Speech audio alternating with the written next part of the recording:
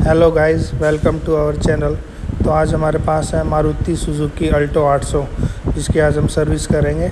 ये चली हुई है ओनली 55,000 तो आज हम दिखाते क्या क्या चीज़ चेंज होने वाली है इसमें। तो इसमें अभी ऑयल ड्रेन कर रहे हैं ऑयल निकाल रहे हैं इंजन ऑयल चैम्बर का और ऑयल फ़िल्टर निकाल रहे हैं। और गेयर ऑयल यहीं की यहीं चेक हो रहा है। तो अभी ओनली 55,000 चली हुई है तो इसमें गेयर ऑयल ओके है। इंजन ऑयल और ऑयल फ़िल्टर हमने खोल लिया है। इसका गा, गाड़ी डाउन करी है अभी हमने और ऊपर की फिटिंग खोल रहे हैं जिसमें हम ये एयर फ़िल्टर बॉडी खोल रहे हैं। ठीक है गाइस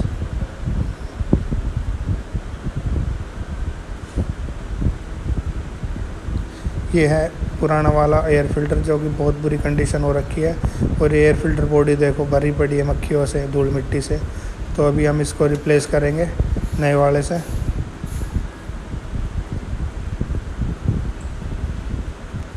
अभी इसके स्पार्क प्लग हम खोल रहे हैं।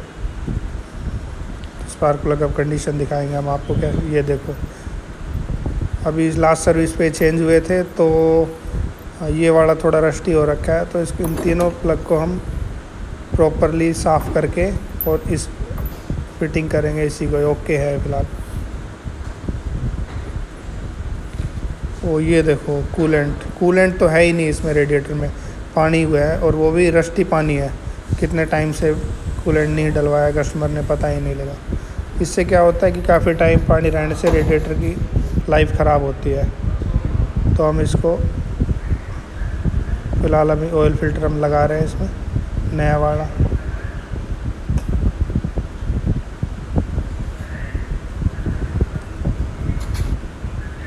ये अभी एयर फ़िल्टर हमने नया फिटिंग कर दिया है, मारुति सुजुकी का जैन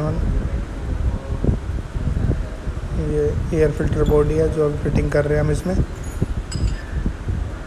ये नीचे ऑयल फ़िल्टर टाइट कर दिया है।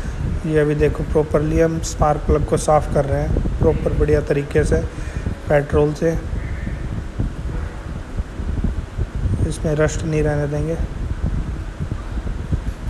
ये है Maruti Suzuki X star zero twenty fully synthetic engine oil जो अभी अल्टो आठ सौ में डालेंगे। ये थ्री सिलेंडर इंजन है तो इसमें only three three litre engine oil आएगा। तो ये साढ़े तीन की है, इसमें तीन लीटर हमने इंजन ऑयल डाल दिया है।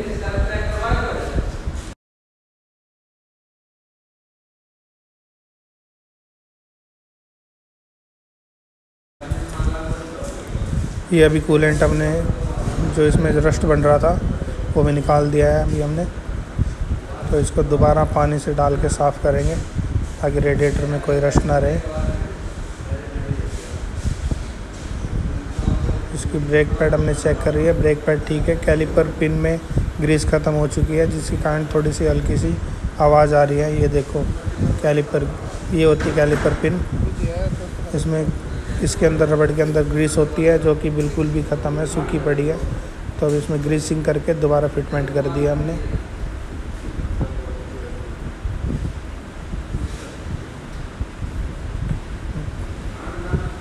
कैलिपर पिन लगा दिया हमने और टायर फिटिंग कर रहे हैं अब इसे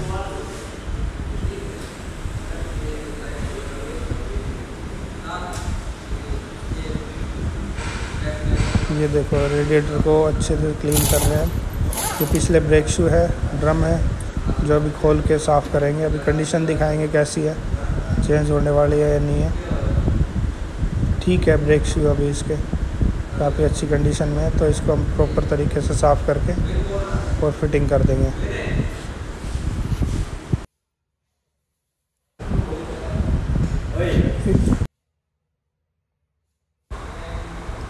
स्पार्क प्लग का गैप मिला रहे हैं। गैप बिल्कुल प्रॉपर करके तब इसके स्पार्क प्लग की फ़िटिंग करेंगे। ये है क्लीन होने के बाद स्पार्क प्लग की कंडीशन काफ़ी अच्छा साफ़ हो चुका है।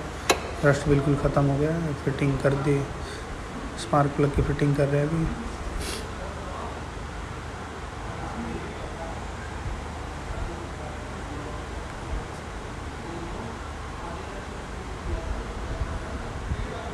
और ये स्पार्क प्लग फिट हो चुके हैं अपने।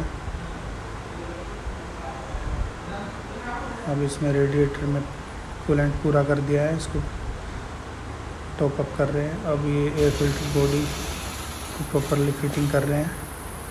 और ये फाइनली अपनी गाड़ी सर्विस हो चुकी है। Thanks for watching this video video अगर अच्छी लगी हो तो प्लीज़ लाइक एंड शेयर ज़रूर करें और चैनल को सब्सक्राइब ज़रूर करें। Thank you